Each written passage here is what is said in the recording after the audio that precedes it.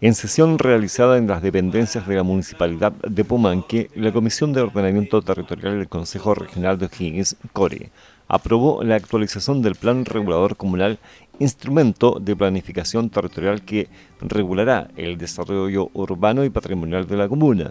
A la instancia asistió el alcalde Francisco Castro junto a los concejales de la comuna. Pumanque, por allá, por se formó la comuna por allá el año 1825, una cosa por ahí, pero se fue formando pueblito por, el tráfico que venían de la costa, se hizo un camino, un camino rearche, llamaban en esos años los, españoles, se hizo un, camino hacia, hacia Bucalemo, Bucalemo por lo general.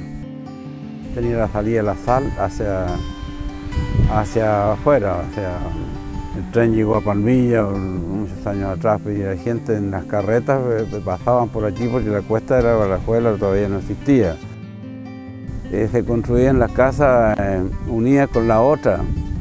Esta misma casa allí tenía, estaba, unida con, la casa que estaba al lado ahí. Entonces, no, ah, como que hacían a media, la, la muralla dividía. Así era la característica que tenían estas casas. La principal característica de este plan regulador en, esta comuna es que protege el patrimonio, el rescate patrimonial, como el corredor que vemos el día de hoy, mantiene la arquitectura colonial que tenía esta comuna, con corredores de 2,5 eh, metros, eh, las construcciones de teja, la altura máxima que pueden tener las construcciones, la protección de la iglesia de la comuna de Pumanque, la plaza, eh, en general la historia que tiene la comuna de Pumanque. Lo que se hace aquí es que se va ordenando eh, para que las comunas vayan creciendo en forma ordenada. Pumanque es una de las comunas que, está creciendo, por lo tanto hay necesidades de, de vivienda, pero lo que es importante es que un plan regulador lo que permite también es que tengamos zonas de protección respecto a áreas patrimoniales.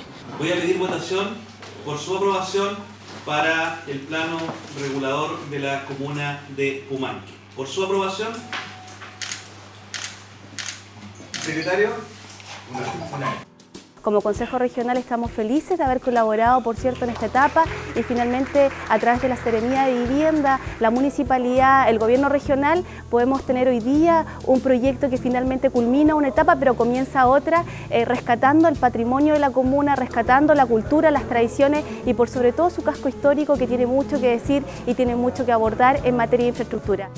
Hoy día hemos eh, marcado un hito histórico, creo yo, al entregar un instrumento de planificación después de esta aprobación unánime del CORE eh, para que eh, la comuna de Pumanque pueda planificar, ordenar su comuna, pensar y soñar el desarrollo social y económico del futuro. ni el agua de Ornejo, por ejemplo.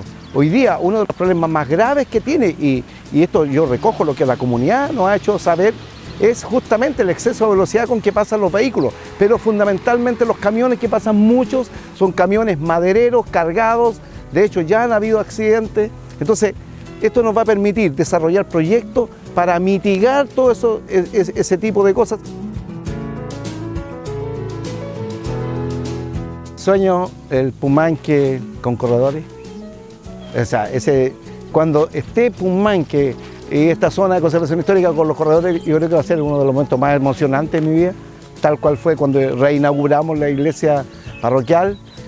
Sueño gente contenta, gente segura,